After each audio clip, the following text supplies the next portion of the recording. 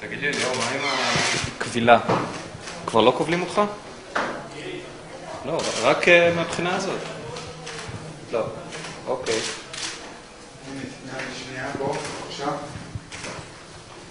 איך ההתייחסות אליך? כן? בסך הכל בסדר? בינתיים. בינתיים אתה אומר?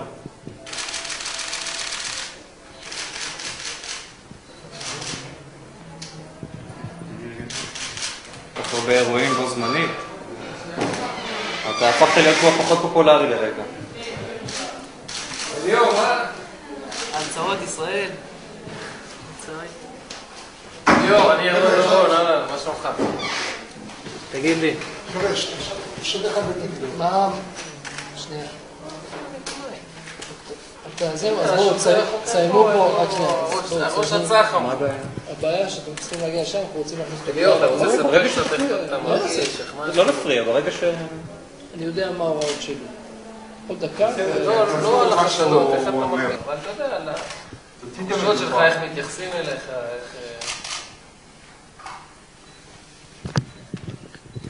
אה, אולי משהו באופן כללי, אם אתה רוצה להגיד למשפחות שמעורבות בפרשה הזו, גם המשפחה שלך שנמצאת אה, בחו"ל, אבל גם למשפחה שאתה היית חלק ממנה, ששניים מהילדים שלה פצועים, פגועים.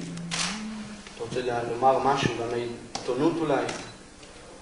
אני אגיד לך דבר כזה, אנחנו חשבנו באמת שהולכת להגיע מפלצת, בן אדם עם קרניים. אנחנו רואים בן אדם רגיל, בלי קרניים, בלי כלום.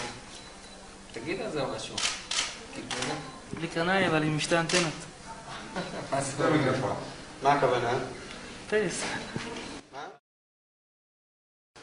בשמונת הימים האחרונים אה, ניסו בדרכים שונות לחקור את אליאור חן אה, והיום עברו לשלב הבא כאשר אה, השלב שיהיה בשבוע הבא הוא הגשת כתב אישום ובקשת מעצר עד תום הליכים.